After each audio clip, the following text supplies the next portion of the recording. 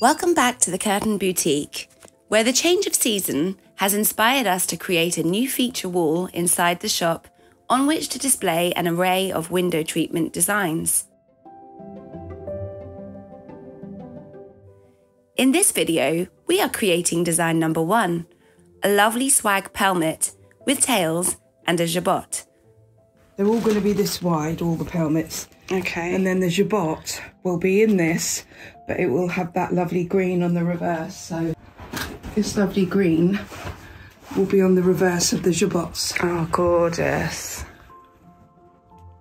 I'm working out the main pattern of the actual pelmet. They're going to be swags in this shape but they're not going to be um, gathered swags. They're just going to be plain swags. Decided how many swags I want to have on my pelmet. So because it's only 80 centimetres wide, I only want two. If it was wide, obviously, I'd maybe have uh, either larger swags or maybe three. But in this instance, I'm just doing two. I've made the single swag. So what I'm going to do is I'm going to place my pattern on the fabric and I'm going to pin it all the way around I'll cut all the way up to the corner from down there, round, up to here, and then I'll flip that over. So where I've got my cut, I'll flip that, making sure it's all straight and everything. And then I will cut again, and then all the way up to the top, and then across, so that I have a double, and they're exactly the same. So once I've got that in place, I'm then ready to apply my um, interlining and my uh, lining, which I will show you in the next step. Okay, so going on to the um, inside of the um, pelmet now, we're going to put interlining and then on the reverse we're going to have um, lining. We won't be putting a contrast lining on the actual main part of the pelmet because you're not going to see it, but on the tail parts or the jabot parts, uh, we will be putting the um, contrast green um, on the reverse of those. So first of all, I'm just going to cut this piece of um, interlining out. So I'm going to just lay the pelmet over the interlining and I'm going to make sure I allow a little bit a little bit extra for my um, seam allowance However, I will be cutting down the seam allowance quite a lot because I won't want it to be in amongst the actual seam because it will be too bulky. So I'm just going to allow a little bit extra, but I'm going to do what's called feathering, which I'm sure a lot of you know, where you'll cut some of it away and then that'll kind of sit, make it sit better. So I'm going to do that on this particular pelmet. Okay, that's that. And then I will cut the other side.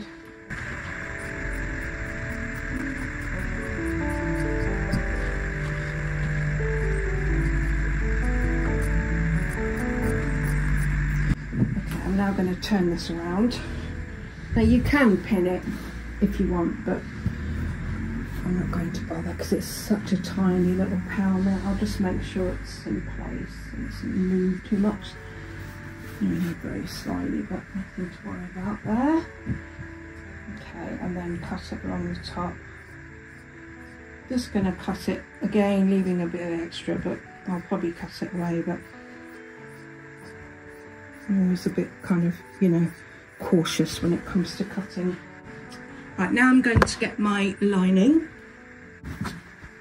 I'm going to just use normal white cotton sateen lining for this particular job.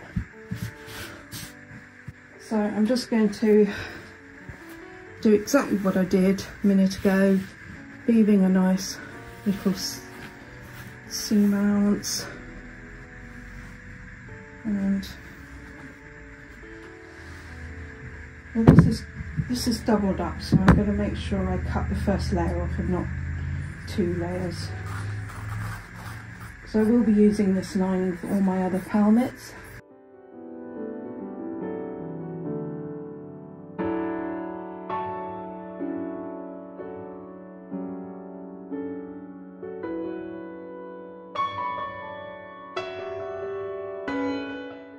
Right, so first of all I laid my interlining down and then I'm going to lay my um, face fabric facing up Found the right way. okay.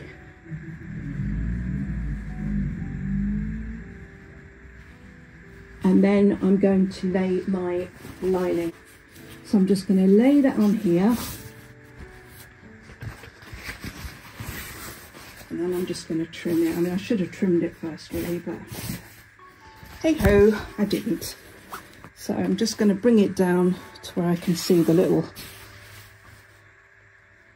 you know, the, the, the actual pelmet bottom parts. I can sort of see just under there, it stops there. So I'm going to cut my lining.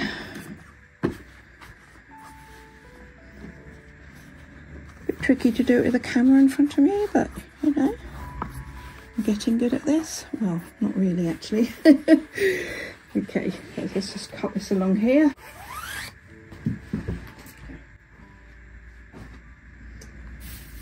So this is the right side of the lining. So we're going to turn that over and then put this here.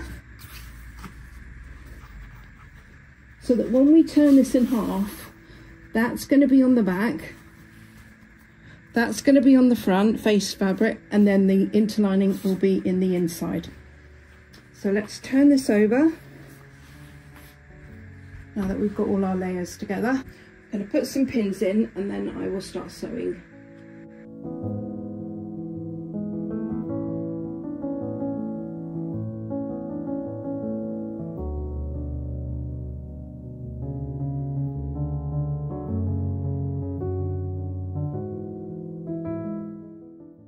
Don't stab yourself. I think I'm talking to myself rather than talking to you guys actually when I say make sure you don't stab yourself because the amount of times I do it's like you know occupational hazard for me so I don't know whether I've mentioned to you guys but this particular little pelmet is for the um, display wall um, on the other side of the shop. There's, um, there's six designs which I'm doing. This is the first one and I'm fitting them in between work because obviously work's more important than doing design stuff for the shop but there is a wall that's that's now sort of bare and has nothing on it so I really want to get it done because I don't like the shop looking it makes the shop look untidy when it's you know things are not put together nice so I am really wanting to get that done right so that's that's that now I'm going to sew this um, I don't need to film this because I'm sure you know what I'm going to do. I'm just going to sew all the way down here, round, up to here, round and up to the top. And I'll see you in the next stage when I'm going to turn it inside out. Okay, so I'm now going to turn it inside out, making sure the interlining is on the inside and the lining is on the outside. So I'm going to sort of turn it like this. I have snipped the inside on the corner where it goes up so snipped it as much as I possibly can so that it sits nice. Um, so I'm just going to sort of like kind of get it nice and flat. Um, I've turned it inside out and I've ironed it all out so it looks really nice. It's quite sturdy, which is what I wanted. Now I will be putting velcro at the top here so I'm going to tuck this under tuck the other under and then hand sew my velcro so that I don't have any nasty stitch lines at the top so that's this for now let's go on to the jabots okay so now we're doing the jabot and I am going to show you what the shape is I'll show I'll tell you how big I'm making this now I'm making it about 17 inches drop. So from the top to the bottom of the edge, it's 18 and a half actually. And then the width of it will be 50 centimeters. So you can make it however much you like, but from the center, it's um, 32. So what I would suggest you do is make your pattern Make sure you've got an inch at the bottom here just you go down, make an inch, and then from the inch go up to the center of the fabric. So I would um, get the square cut out, turn it in half, iron it sort of like at the bottom, you know, the bottom of it, sort of just where the center's going to be. Just iron it a little bit in the center. And then you know where your center point is then. So just give it a little pin, mark it with a pin, and then you can do your center from the pin to the edge to where the the inch comes in at the side. So from the inch to the edge, you can then put your um, your center point in and then you know that's going to be your center for your jabot. So that's the shape and I've also got three of the green contrast which goes with it. So what we will now do is put our, make sure the pattern's running that way with its velvet. Make sure that's the way the pattern is running. So make sure that it's running in the same direction. So that is where we're going to sit it. And I'm going to turn it over. And then I'm going to start pinning it in place down the side, along here, and then down the other side so that we can start sewing it. So pin that one.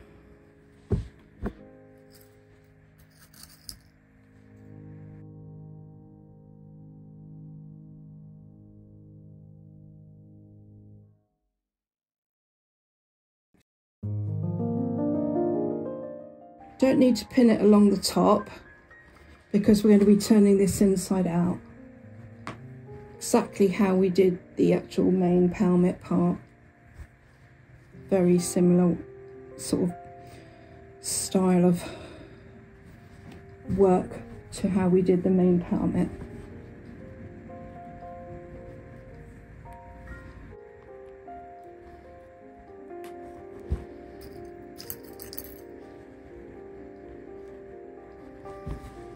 Okay, so I've got this piece of batten, which is um, four by one, four inches by one inch, and I've cut it to the width of the pelmet, and I decided that I'm not going to sew any Velcro on the top, and I'm just going to attach it to the very edge of the wood.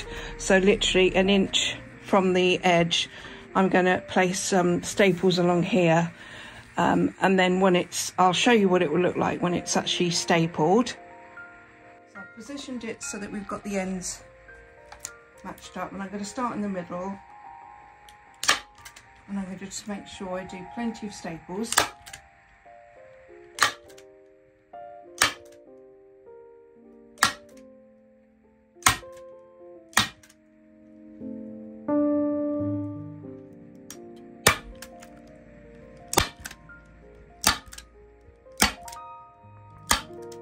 So when that's done, it will sit like that. And then I will put the I've made the two little tails at the end. So they will sit on the end and that bit will go around the corner. So I'm now going to staple these on as well. Okay so I've made the outer tails um, and they're very small because I'm not making it huge. Um, basically you have to take down uh, make this kind of shape um, this is always going to be the drop of where you want the tail to be the longest. And then obviously this is going to be where you want it to be the shortest. So you cut out a piece like this and make sure that you leave a little little kind of like area here about of, about an inch. And then you go from the end here to um, the top here with your um, your pencil mark and then you cut along there and then you obviously cut two. Make sure you cut a left and a right and then I'm going to tuck the top in here and then I'm going to hand stitch this at the top so that um, you can't see any stitch lines and then I will um, put the velcro on by hand as well because I don't want any stitch lines at the top um, and then so what what I'll do first though is I'll pleat it uh, so that it's exactly the right width and all the pleats are in place before I sew the Velcro on because you can't do it before because it'll be too bulky with Velcro tucked under the pleat. So make sure you do all your pleating and then you can sew the Velcro on afterwards. So that's that for now and now I'm just going to slip stitch the top and then pleat them up and I'll show you how I pleat them up. Okay, so I've now done the sewing at the top and I'm going to just press everything out so it's nice and flat. The fabric seems to be a little bit of a, like pulling a bit. I don't know why. I had it nice and flat earlier and now it seems to be a little bit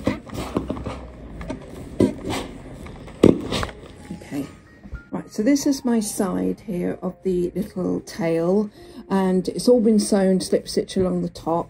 So I'm now going to turn it into sort of a tail. There are no returns on this tail, so this is just a tail. I'm going to be putting a flat return in the fabric on the board. So this is now going to be pleated.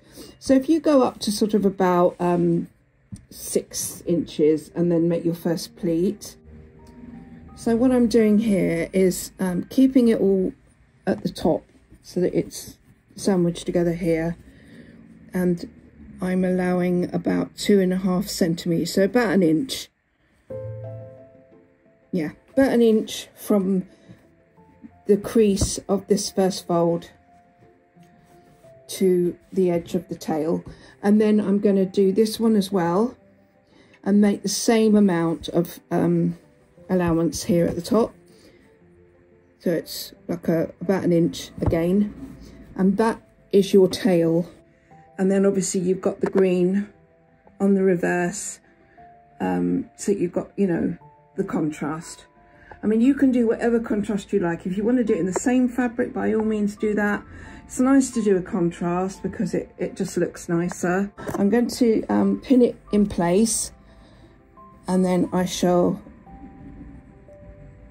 do some stitches at the top just to keep it in and then um, give it a press as well so we can get rid of any of the little any of the little creases. But you know it's it's going to have a little bit of a now when it's different fabrics you're going to have like little not puckers but you know character I call it.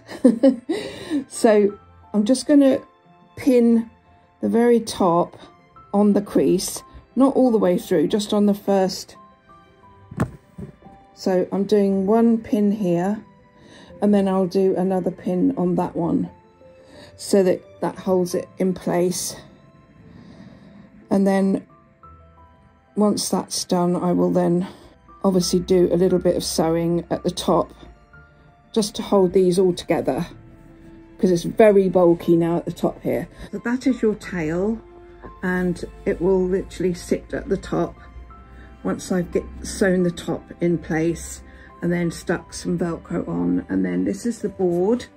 So the Velcro will be stuck at the very top of this. And then I will show you how it fits together. So that will sit like that once it's uh, Velcro's on. This is our middle jabot. Um, so I am making this um, 18 inches wide or 54 and a, uh, 45 and a half centimeters. And then at the sides I've made it 17 inches and 43 and a half centimeters. And then in the middle it goes up by uh, let's get it right on the center there. 12 inches or 31, just, just under 31 centimetres. So make your marks. Um, obviously this is the centre, so fold it in half and then add your, um, your line from the left hand edge to the centre fold it in half and then cut it so that they're equal. And turn them right sides together with your contrast. Sew down here up here here here. Clip this bit before you turn it inside out then you've got your flat bit. It's a little bit out there, but we'll lose that in the top. Um, and then we will now fold it and I will show you how to do that now. Okay. So to fold it, so turn it on the wrong side so you've got your contrast fabric. Take your edge and move it to the, the center and then make your like a pleat. So you've got a double pleat going up to the center like that. And then do the same thing again. So you've got a double pleat. Now you want to make sure these points here are together. So you may have to fiddle a bit with it, but once you've done that, turn it over. Got to make sure these bits here are right together. So what I would do, once you've got them together, get a couple of pins and pin those in place just so that they're not going to move. Because it's more important you get that right because then the top will just fall in place anyway. So get your pin and do this the other side.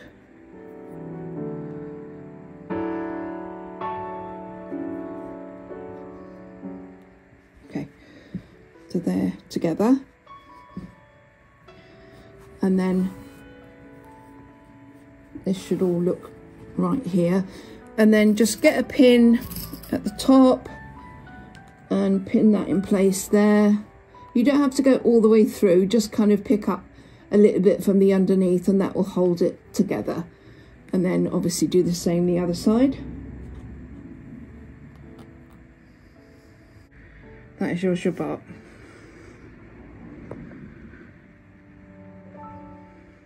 show it to you on the bench so that will go in the middle. And those bits have got to be together. That's it. So yeah, very nice. And then I will fit that in the middle. So I'll fit the two side ones and then the middle one.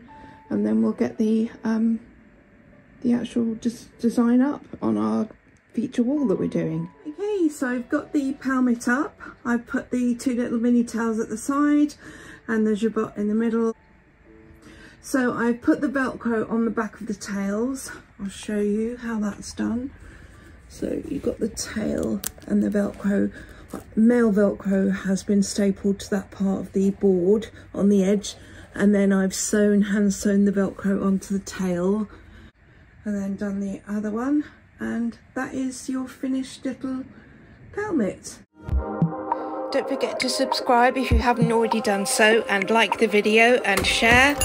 And I look forward to seeing you next week. Bye for now.